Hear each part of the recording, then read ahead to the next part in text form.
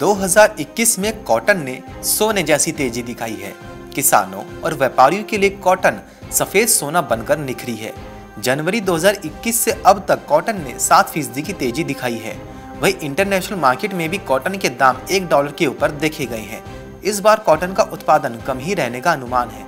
इस साल कॉटन की फ़सल पिंक बॉल वर्म कीट से खराब और मौसम के चलते बड़े पैमाने पर खराब हुई है। टेक्सटाइल इंडस्ट्री पिछले डेढ़ साल से कोरोना के चलते काफ़ी प्रभावित हुई है।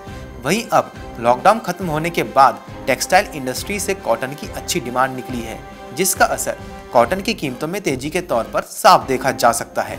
वहीं बाज़ार के जानकार केडिया एडवाइजरी के डायरेक्टर अजय केडिया के मुताबिक वैश्विक बाज़ार में भी कॉटन की सप्लाई में कमी देखी जा रही है, जो कि अगले छह महीनों तक जारी रह सकती है। कॉटन की कीमतें ऊँची होने पर डिमांड कॉटन से पॉलिस्टर पर शिफ्ट हो जाती है।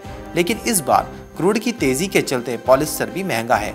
वहीं मैनुअल फाइबर की कीमतों में भी तेज होने के चलते कॉटन को सपोर्ट मिल रहा है। बीच बीच में कॉटन में थोड़ी हल्की गिरावट भी देखने को मिली है, लेकिन आगे कॉटन की कीमतों में तेज़ी जारी रह सकती है। अजय केडिया के मुताबिक, फरवरी 2022 से मार्च 2022 तक घरेलू स्तर पर कॉटन वायदा में अड़तीस हज़ार तक के स्तर देखने को मिल सकते हैं और आईसीई कॉटन में एक डॉलर चालीस सेंट का भाव देखने को मिल सकता है। सप्लाई की चिंता और डिमांड तेज रहने से कीमतों में तेज़ी आएगी। Bureau report, market times, TV.